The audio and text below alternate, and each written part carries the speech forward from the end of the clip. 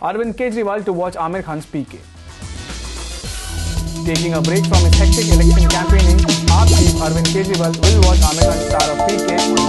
Did you watch PK? How will it? I'm planning to go tomorrow, the former chief minister of Delhi. In a bid to recapture Delhi, the AAP leader has been undertaking a hectic campaign, with himself addressing over two rallies in a day. In an interview to PTI earlier this year, he said, after becoming the chief minister, owing to his hectic schedule, he missed not going out